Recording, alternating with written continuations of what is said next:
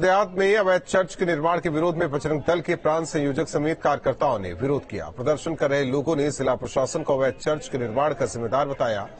लोगों ने जिला प्रशासन के खिलाफ नारेबाजी भी की। बजरंग दल कार्यकर्ताओं का कहना है कि सूचना देने के बाद भी जिला प्रशासन कार्रवाई नहीं कर रहा। है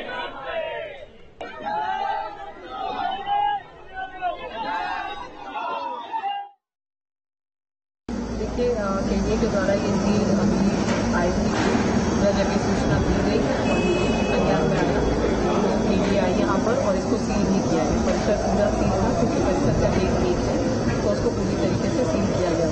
इस तरीके की अगर स्थिति पाई गई है तो उसकी जाँच होगी और दोबारा अगर ऐसा है तो इसको सील के लिए जो टेक्निकल टीम की आई है, वो जाँच करेगी और जो भी इसमें नियमानुसार कार्रवाई है, वो करेगी धर्मांतरण चंगाई सभा का आयोजन है। फतेहपुर से जो बंद किए गए हैं, वो सारे मिलकर के स्वार्थ के लोग इसमें टारगेट कर रहे हैं। ऐसा अंदेशा ही नहीं, ऐसे मानने के पर्याप्त कारण इसको ध्वस्त किया जाए।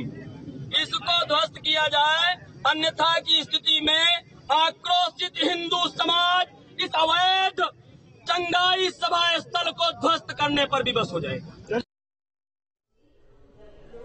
गैंगस्टर